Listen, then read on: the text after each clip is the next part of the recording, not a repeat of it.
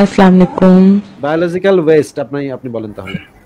না ভাইয়া মানে আপনাদের এইখানে তো মানে যেভাবে সবাইকে অ্যাওয়ারনেস করতেছেন মানে আমি জাস্ট বলতে চাচ্ছিলাম যে এই যে আমাদের যে প্রচুর পরিমাণে বাংলাদেশে মানে হিউম্যান পপুলেশন যেটা আর কি মানে মানে অতিরিক্ত জনসংখ্যা আর কি ম্যাক্সিমাম ক্ষেত্রে দেখা যাচ্ছে যে আমাদের আসলে কোয়ালিটি বলতে তেমন কিছু নাই। যেমন আমরা ধরেন যারা নিম্নবিত্ত ফ্যামিলি থেকে উঠে আসছি আমাদের বাবা মারা চার পাঁচটা সন্তান নিচ্ছে এবং আমাদের যে পুষ্টিকর খাবার খাওয়াইতে হবে আমাদের সামাজিক নিরাপত্তার দরকার পারিবারিক নিরাপত্তা দরকার যেগুলো আমরা পাচ্ছি না আমাদের বাংলাদেশে প্রেক্ষাপটে দেখবেন যে ম্যাক্সিমাম এরা আমরা ওই গার্মেন্টসে জব করতেছি রিক্সা চালাচ্ছি বা এই টাইপের সো আপনারা যদি এইভাবে একটু অ্যাওয়ারনেস করতেন যে আমাদের জনসংখ্যাটাকে আমরা কমায় কীভাবে কোয়ালিটি সম্পন্ন বানাইতে পারি আমাদের সন্তানগুলোকে বায়োলজিক্যাল ওয়েস্ট ভাই বায়োলজিক্যাল ওয়েস্ট ভাই আপনি তাহলে সেটা করেন আপনি একটা পেজ তৈরি করে সেই সেই অনুসারে আপনি যেটা আমাদেরকে পরামর্শ দিচ্ছেন সেটা আপনি নিজে নিজেও করতে পারেন।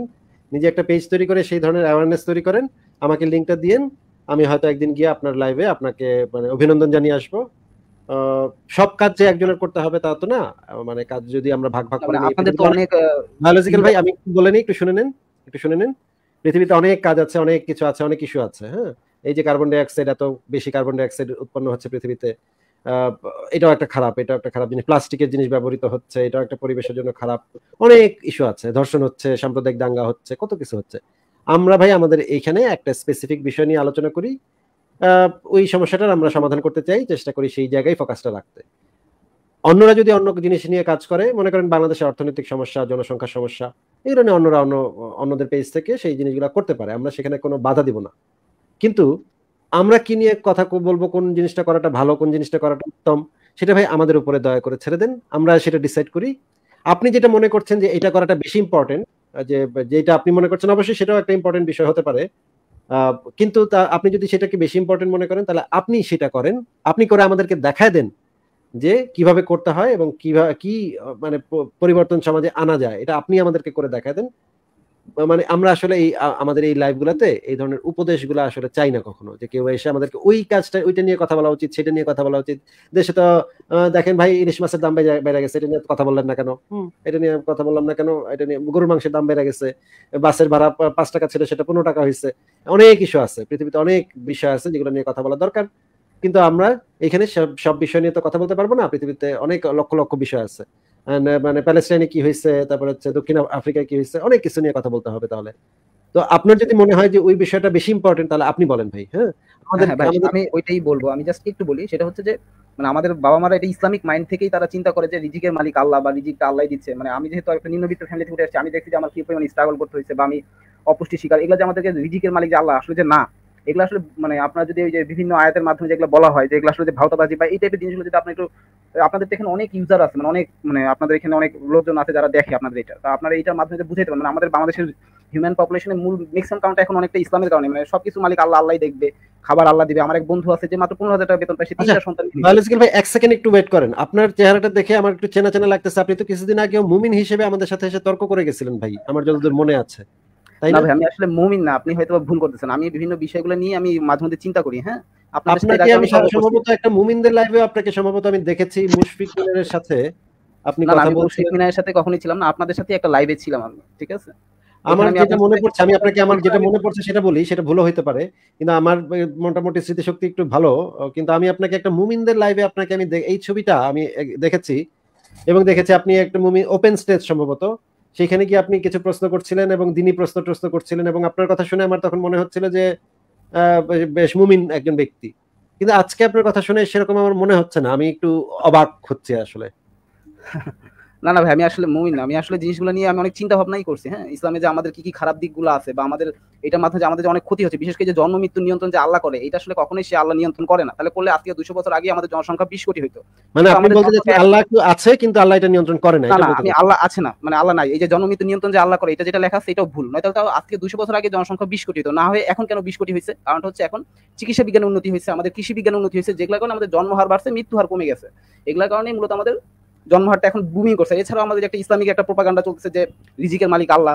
তো এই কারণে আমরা যত খুশি সন্তান নিচ্ছি। মানে আমার নিজস্ব চিন্তা ভাবনাটা এরকম যে আমরা আসলে নিম্নবিত্ত ফ্যামিলি থেকে উঠে আসছি তখন দেখছি আমাদের কি- কি পরিমাণ কষ্ট করতে আমরা অপুষ্টি শিকার সামাজিক নিরাপত্তা নাই পারিবারিক নিরাপত্তা নাই আল্লাহ দেয় না।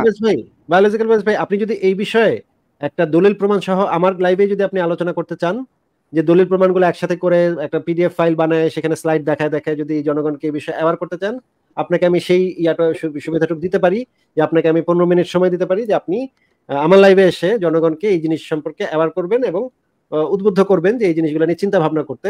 ধরেন কোরআনের আয়াত, তাফসির, হাদিস এবং এই জিনিসগুলো কেন মানুষের জন্য ক্ষতিকর?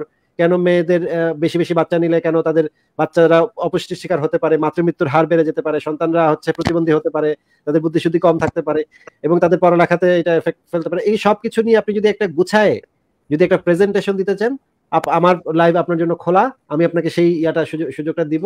আমার লাইভে এসে সেই পনেরো মিনিট সময় আপনি এই বিষয় নিয়ে আলোচনা করতে পারেন। কিন্তু আমার কিন্তু ভাই এখন একদম নিশ্চিত আমি যে আপনার কথাই আমি শুনছি। মুমিনদের লাইভে গিয়ে আপনি নাস্তিকদের বিরুদ্ধে অভিযোগ পর্যন্ত করছিলেন, সেটাও আমার একদম এক্স্যাক্টলি মনে পড়তেছে যে এই ছবি আলা একজন মানুষ নাস্তিক মুমিনদের লাইভে গিয়ে নাস্তিকদের সম্পর্কে অভিযোগও আপনি করেছিলেন। ভাই, আপনি কি সত্যি কথা বলেন তো? আপনি একটা মুমিনদের লাইভে গিয়ে আমাদের সম্পর্কে অভিযোগও তো করেছিলেন, তাই না? না না, ভাই, আমি একটু বলি। আমি মানে সবসময় নিরপেক্ষ ভাবে চিন্তা করি হ্যাঁ? আমি অনেক সময় ইসলামের ভালো দিকও বের করার চেষ্টা করি, আবার ম্যাক্সিমাম খারাপ দিকগুলো আমি বের করার চেষ্টা করি। আমি আপনাদের সাথে একটা লাইভ করতে এটা লিঙ্ক চাইলে আমি আপনাদেরকে দিতে পারি। মানে ওটা আপনার সাথে করছি, কিন্তু আমি অন্য কোথাও কোথাও লাইভ স্টেজে আমি এরকম কোনো কিছু করিনি আর এই ছবিটা হচ্ছে গুগল থেকে ডাউনলোড করা। আর এটা হচ্ছে আমার অনেকটা ফেক ফটো আর কি বলা যায়। ঠিক আছে? মানে আমি ওইভাবে আসলে নিজের পরিচয়টা ওইভাবে আমি কারোর সাথে শেয়ারও করি না। বাট আমি ম্যাক্সিমাম টাইম হচ্ছে আপনাদের লাইভগুলো দেখে আমি নিরপেক্ষভাবে চিন্তা করি। মানে নাস্তিকরাও তো অনেক সময় আপনি যে ফেসবুক অথেন্টিকেট করে। আসছেন ভাই আমি কিন্তু একটু মানে বিষয়টা হচ্ছে কি আমার কিন্তু মেমোরি খুব শার্প আপনি নিশ্চয়ই আমার লাইভ যদি আপনি শুনে থাকেন তাহলে আপনার এটা জানার কথা যে আমার কিন্তু মেমোরি খুবই শার্প হ্যাঁ আমি কিন্তু খুব মনে রাখতে পারি। আপনার আপনি যে ফেসবুক অথেন্টিকেট করে আসছেন আমি কিন্তু সেটাও দেখছি। হ্যাঁ, হ্যাঁ, হ্যাঁ। আপনার নামটা আমি এখন উচ্চারণ করছি না। কিন্তু আমি কিন্তু আপনার আপনি যে ফেসবুকটা দিয়ে অথেন্টিকেট করে আসেন সেটাও আমি এবং আমি নিশ্চিত যে আমি নিশ্চিত যে আপনি ওই ব্যক্তি। একটা মুমিনদের ওপেন স্টেজে সম্ভবত আপনি গিয়ে নাস্তিকরা কি কি মিথ্যা মিথ্যাচার করে এটা নিয়ে আপনি বলছিলেন এবং আমার লাইভে আপনি কয়েকবার আসছিলেন এবং কয়েকবার লাইভে এসে আপনি আপনার সাথে বেশ তর্ক বিতর্ক হয়েছিল। আপনি কিছুতেই আপনি আপনার কি নিয়ে তর্ক হয়েছিল সেটা মনে নেই কিন্তু তর্ক বিতর্ক হয়েছিল এটা মনে আছে। হ্যাঁ অনেক সময় অনেক বিষয়ে আপনার সাথে খুব বেশি না মাত্র দুই একটা লাইভে আমি আসছিলাম। আমার তর্কটা হচ্ছে আমার বিভিন্ন সময় বিভিন্ন প্রশ্ন আসে সেই প্রশ্নগুলো আপনাদের মাধ্যমে আমি ক্লিয়ার হই বা আমি নিজে থেকেও চিন্তা করি। অনেক সময় আপনারা অনেক কিছু ভুল করেন আবার অনেক সময় মুমিনদের মধ্যে অনেক ভুল দেখে আমি দুই পক্ষ থেকেই আর কি চেষ্টা করি যে আসলে কার কি ভুল হয় এবং আমার নিজের ভুলগুলো কোথাও সেটাও আমি সংশোধন করি। হতে পারে আজ থেকে পাঁচ মাস আগেও যে লাইভে আসছিলাম সেই লাইভে আমি একটা বিষয়ে সঠিক মনে করতাম। পরবর্তীতে না আমার মনে হচ্ছে যে না এটা আসলে ঠিক হয় নাই ঠিক আছে? তো এরকম অনেক বিষয় আছে। যেমন আপনারা অনেক বিষয় দেখা যায় যে নারীদেরকেও নিয়ে অনেক মানে, মানে মন্তব্য করেন মোমিনদের সাপেক্ষে। সেটাও ঠিক না। আবার মুমিনরাও দেখা যাচ্ছে যে নারীদের নাস্তিকদের মা বোন নিয়ে গালি এগুলো একটা ঠিক না। এটা আসলে এক ধরনের নারী আচ্ছা, আচ্ছা ঠিক আছে আমরা একটু আপনার কাছ থেকে শুনব যে আমরা কি প্যাচে মন্তব্য করলাম সেটা শুনব আপনার থেকে। ঠিক আছে। ভাই আপনি কিছু বলছিলেন বায়োলজিক্যাল ওয়াজ ভাই আমার একটা ইয়ে আর কি সেটা হচ্ছে আপনি আসলে এক্সপার্টিসটা কোন লাইনে বলেন তো? যে আপনি যে এত মানে হলিস্টিক চিন্তা ভাবনা করেন অমুকের ভুল তমুকের ভুল নিরপেক্ষ চিন্তা ভাবনা ঠিক আছে খুব ভালো। হ্যাঁ আপনার এক্সপার্টিসটা কোন লাইন মানে আসলে কথা হচ্ছে যে আমি মাঝখানে ইসলাম ধর্ম নিয়ে অনেকক্ষণ মানে পড়াশোনা করার ট্রাই করছিলাম মাদ্রাসাও গেছিলাম। তো একটা সময় ভাই যে প্রশ্নটা করা হয়েছে দয়া করে শুধু হ্যাঁ। সেটুকুর উত্তর দেন যে আপনার এক্সপার্টিস কোন লাইনে সেটা একটু বলেন। আমার এক্সপার্টিস বলতে হচ্ছে যে আমি তিন চারটা কারণে আসলে আর কি এইসব মানে ইসলামটাকে থেকে বের হয়ে আসছে। এক্সপার্টিস বলতে আমি বিভিন্ন আয়াতগুলো আছে যেগুলো থেকে আমার মনে হয়েছে যে এগুলো আরে ভাই আপনার আপনার আপনার এডুকেশনাল কথা বলেন মানে আপনার কোন লাইনে পড়াশোনা এক্সপার্টিস কোন লাইনে আর কি সেই সেটা জানতে চাচ্ছি। ও আচ্ছা আচ্ছা আমি পড়াশোনা হচ্ছে আমি সফটওয়্যার ইঞ্জিনিয়ার হিসেবে একটা আইটি ফার্মে কর্মরত আছি। আচ্ছা আচ্ছা। ঠিক আছে? ঠিক আছে আপনি যে আমরা যে দলিলগুলো দিয়েছি সেগুলো কি আপনি নিজে চেক করে দেখেছেন যে এই দলিলগুলো আমরা যেটা দিচ্ছি সেগুলোর ভিতরে কি আপনি এখন পর্যন্ত কোনো ভুল পেয়েছেন? না ওই দলিলগুলো না কিন্তু আপনার বিভিন্ন সময় যে বিভিন্ন মানে যে লাইভগুলোতে অনেক সময় আপনাকে ভাই যেটা প্রশ্নটা করা হচ্ছে সেটার আগে উত্তর দেন সেই বিষয়ে আমরা যাব। না না এই বিষয়ে আপনার কোনো আমি ভুল পাইনি। মানে আমরা যে দলিলগুলো দিচ্ছি সেই দলিলগুলোর দলিলগুলোর ভিতরে কোনো ভুল তো পান নাই তাই না? না না। কিন্তু আপনার বিভিন্ন এক্সাম্পল দেন তখন হচ্ছে সেই এক্সাম্পল গুলোতে আপনার বিভিন্ন সময় নারীদেরকে কুরুচিপূর্ণ মন্তব্য করেন যেটা ঠিক না। মোমিনদের সাপেক্ষে বলেন। একটা উদাহরণ দেন তো আমাদের ওয়েল আপনার গতকালকে বা তিন চার দিন আগে একটা লাইভে বলতেছিলেন যে ধরেন আপনার বোনকে কেউ রেপ করল বা আপনার বোনকে আরেকজন মানে এইভাবে আরেকজনের বোন বা আরেকজনের মাকে নিয়ে যখন আপনারা বিভিন্ন ধরনের কুরুচিপূর্ণ কথাটা বলেন ওয়েট করেন ওয়েট করেন ওয়েট করেন। এটা কুরুচিপূর্ণ কথা কেন? ধরেন আপনি একজন মুমিন আপনি দাবি করতেছেন যে কাফেরদেরকে মেরে তাদের মা বেটিকে তুলে এনে সহবত করা এটা একটা নৈতিক কাজ। এইটা যখন আপনি বলতেছেন আমি যদি এটা বলি যে এই ঘটনাটা যদি আপনার বোনের সাথে ঘটে আপনার আপনাকে মেরে যদি আপনার বোনকে তুলে নিয়ে হিন্দুরা যদি ঠিক একই কাজ করে সহবত করে বিছনায় তোলে তখন আপনার কাছে কেমন লাগবে? এই কথাটা যদি আমি বলি। আচ্ছা জ্যাক্সপ্যারো ভাই আপনি আমাকে বলেন তো এই প্রশ্নটা করার ভিতরে কুরুচির কি আছে আমি তো বুঝতে পারছি না। জ্যাক্সপ্যারো ভাই আপনি একটু বলেন তো। না এখানে তো কুরুচির কোনো বিষয় নাই বরং এটা আমাদের ভাই আপনি একটু অফ থাকেন আমরা একটু সবার মতামত শুনে নিই হ্যাঁ? প্রশ্নই নেই। এখানে কুরুচিত কোনো প্রশ্নই নেই বরঞ্চ এটা আমাদের আরও গভীর ভাবে ভাবতে সাহায্য করে আর প্র্যাকটিক্যালি আমাদের ভাবতে সাহায্য করে। আমাদের মনে যদি কোনো কনফিউশন থাকে সেই জায়গাটা সে নাড়া দেয়। ঠিক আছে? তো এটা তো খুবই ইম্পর্টেন্ট একটা এক্সাম্পল এবং এই- এক্সাম্পলটার একটা নাম আছে মানে ফিলোসফি আমি ভুলে গেছি বাসবিহারী ভাই যদি বলেন যে একই কনটেক্সটে যখন আমরা ফ্যামিলি বা আপন জনদের সাথে এক্সাম্পলটা শো করি এটাকে যেন কি বলে? আমি এই মুহূর্তে আমার বাসবিহারী ভাই তাহলে বলেন তো বাসবিহারী ভাই এই যে ফ্যামিলিকে নিয়ে আমরা যে এক্সাম্পলটা দেই কেন দেই? কারণ বেশিরভাগ মুমিনই এই জিনিসটার সাথে রিলেট করতে পারে না। তারা যে যে জিনিসটা করে যে কাফেরদের হিন্দুদের মা বেটিকে একটু আমরা একটু মানে গণিমতের মাল হিসেবে একটু ভোগ করছি এটা তো অসুবিধা কি? তো এই কাজটা যখন তারা করে তখন আমরা তাদের রিয়েল লাইফ এক্সাম্পল দেই তাদের বোনের সাথে তাদের মায়ের সাথে তাদের মেয়ের সাথে। এক্সাম্পলটা দেই। এই এক্সাম্পলটা দেয়া কি কুরুচিপূর্ণ বলে কি বাসবিহারী ভাই আপনার কাছে কি কখনো মনে হয় যে এটা উদাহরণটা দেয়া কুরুচিপূর্ণ? না না, এই উদাহরণ কেন কুরুচিপূর্ণ মনে হবে? সে ওটাকে গায়ে মেখে নিচ্ছে কেন ঘটনাটাকে? ওকে তো উদাহরণ হিসেবে দেয়া হচ্ছে রেফারেন্স দেয়া হচ্ছে যে এই একটা ঘটনা, মনে করুন এই ধরনের ঘটে, ঘটবে, তার সম্পর্কে আপনার সিদ্ধান্ত। এইটাকে ওর ফ্যামিলিতে যে ঘটবেই, এইটাকে ওরা মনে করে নিচ্ছে কেন? এটা তো অদ্ভুত ব্যাপার। এ তো আমরা অঙ্ক ফঙ্ক করার সময় যেমন এক্স ধরি সেরকম ভাবে সেটাকে সত্যি নাকি? আমরা পরে সেই এক্সের ভ্যালু বার করি। ঠিক তেমনই কোনো একটা ঘটনা তৈরি করে আমরা হাইপোথেটিক্যালি তাকে চিন্তাটা করানো। তাই না? তো সেইটা ওরা গায়ে মেখে নেয় কেন? মানে এটা যে ঘটবেই এর সঙ্গে আবার কুরুচি কি আছে? হ্যাঁ আচ্ছা, ফ্যামিলিকে নিয়ে বললে ফ্যামিলিকে নিয়ে বললে সে আরও বেশি সহমর্মিতার সঙ্গে বিষয়টা চিন্তা করবে। এইটাই হচ্ছে পদ্ধতিটা।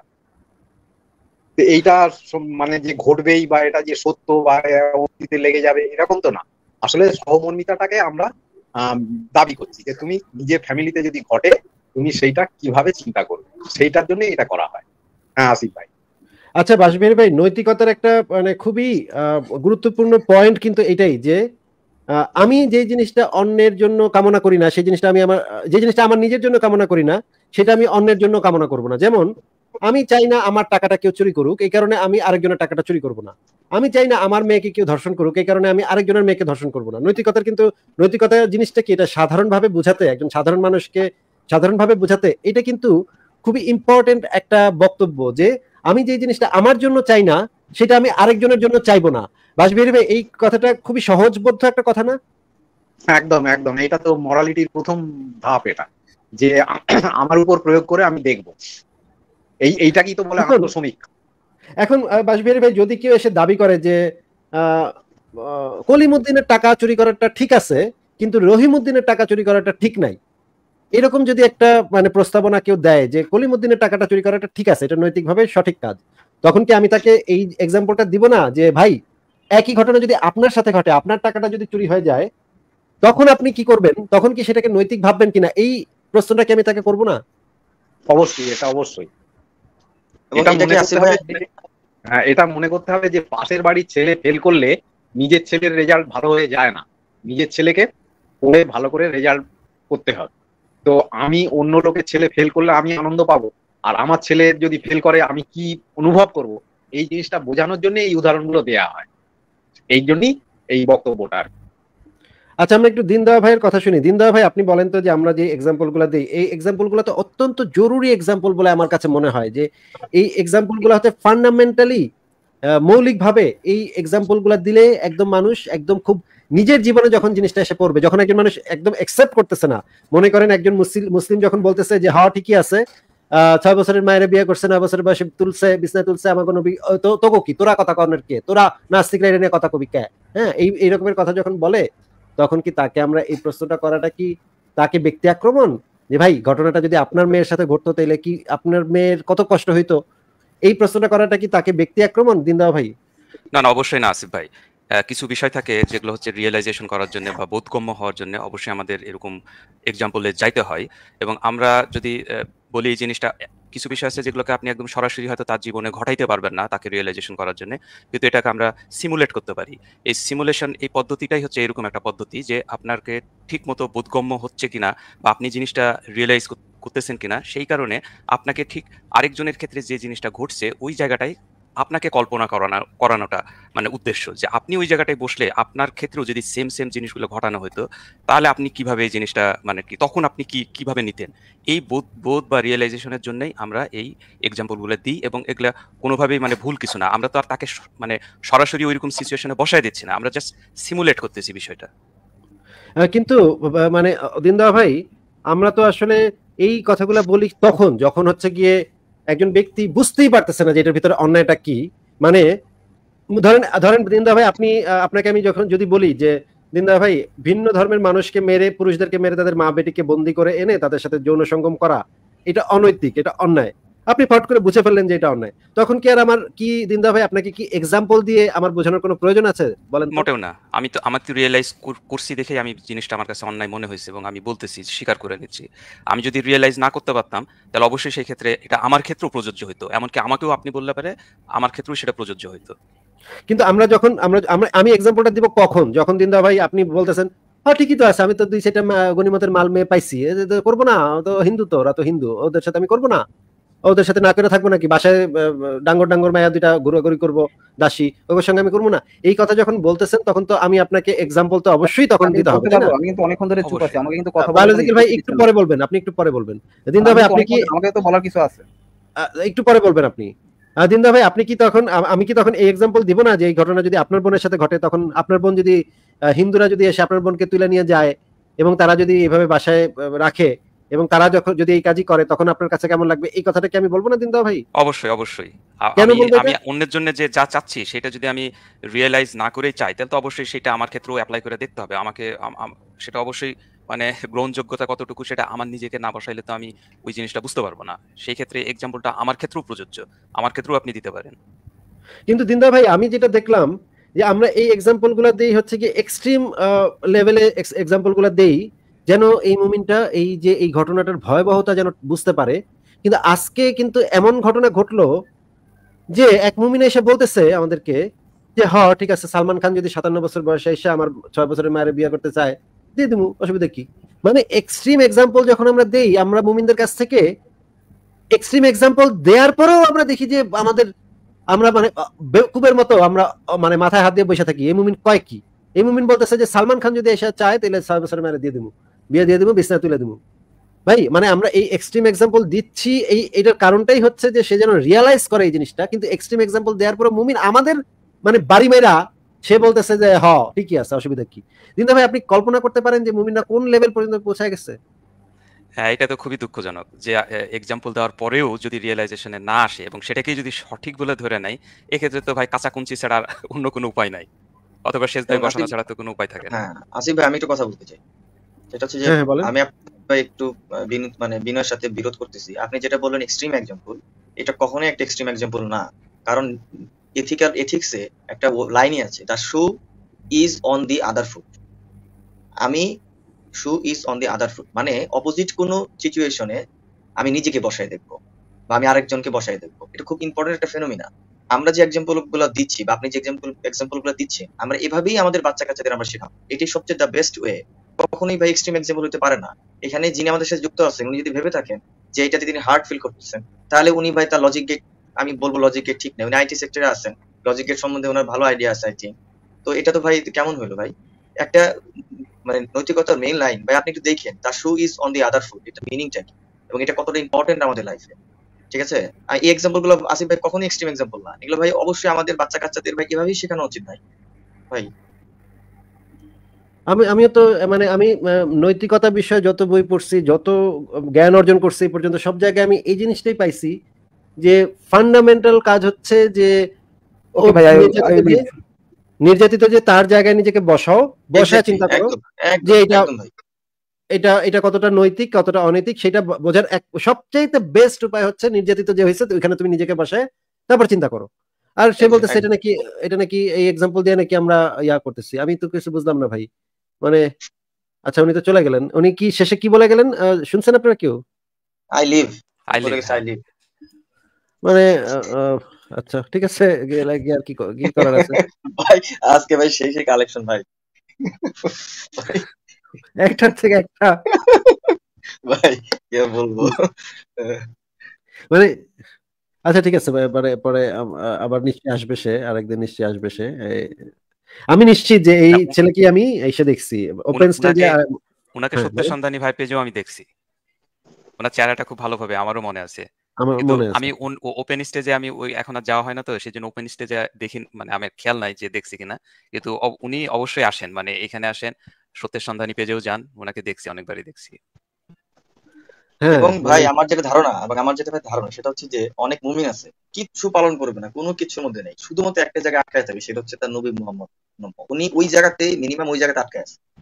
হ্যাঁ যখনই এক্সাম্পল আমরা দেই এগুলো ঘুরে ঘুরে ঘুরে ঘুরে তার ওই নবী মোহাম্মদের গায়ে গিয়ে পড়ে। এটাই উনি সহ্য করতে পারেন আর এখানে এসে সে মানে ভান ধরতেছে যে অনেক চিন্তা ভাবনা করে অনেক কিছু করে। মানে জাস্ট অ্যাবসার্ড ওই স্টেজে আছে যে আল্লাহ নাই ঠিক আছে কিন্তু নবীরে নিয়ে কিছু কম যাবে না তাহলে মেনে হ্যাঁ হ্যাঁ একদম একদম ভাই একদম। আমারও ভাই তাই আমিও নাস্তিক আপনি আপনাকে মতো নাস্তিক আল্লাহ ফাল্লাহ নাই এগুলো নাই। কিন্তু নবীরে নিয়ে কিছু কইবি তো মেরে নেব। নবীর কিছু এরকম ভাই অনেক আছে প্রচুর পাওয়া যায় কালেকশন এমনকি নবীর গল্প আপনি নবীকে বাদ দিয়ে রেখে অন্য কাউকে ঢুকায় ওই জায়গায় না, করবেন একদম মানে নেবে। হ্যাঁ যে বলবেন যে এখানে তো আসলে অন্যের নাম হবে না এখানে নবীর নাম হবে। তখনই দেখবেন চিত্তা হুম। অন্যরকম হয়ে গেছে। উনি উনি ওনার সেন্টিমেন্ট ওই জায়গায় আটকা পড়ে আছে ভাই। এই কারণে উনি উনি এক্সাম্পল নিয়ে এক্সাম্পল নিয়ে কথা বলতে আসছে কেন ভাই বলেন? কি কারণ এক্সাম্পল নিয়ে কথা বলতে আসছে? হ্যাঁ আমি ঠিক আছে ঠিক আছে পরের জনকে যুক্ত করি। ফারাজ